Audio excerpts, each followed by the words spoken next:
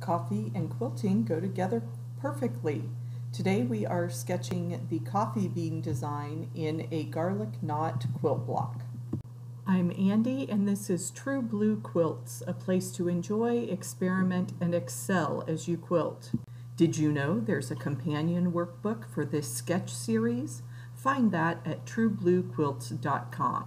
Coffee beans are one of my favorite designs when you have a chain or strong diagonal line in your quilt. You could do these with sashing. Um, I'm just drawing a loop and putting that wavy line through the center to imagine, you know, just to give me another traveling line to add some more detail to the design. And this is a really good skill builder for, for sketching those ovals or those uh, continuous curves in your block.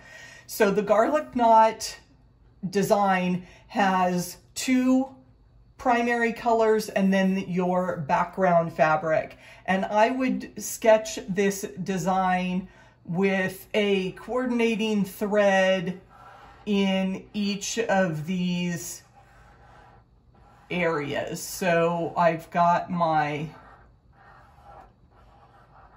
first line of coffee beans and then I can travel over to the next corner and really work on filling that space. That first one got a little skinny and then we're here and then we can come into the middle print and sketch those. You can alternate the directions if we wanted these background beans to go in a different direction than the main print of our design and you see how that looks.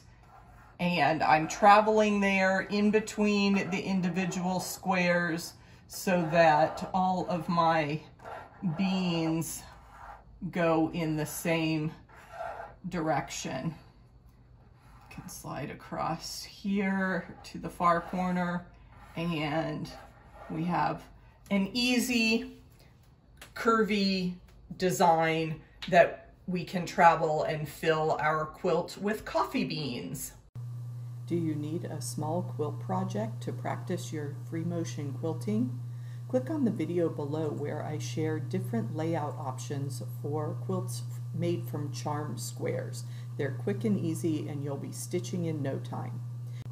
Before you go, be sure to hit the like button and subscribe to this channel. I share new videos each week with lots of quilting tips and techniques. Thanks for watching and I'll see you in the next video.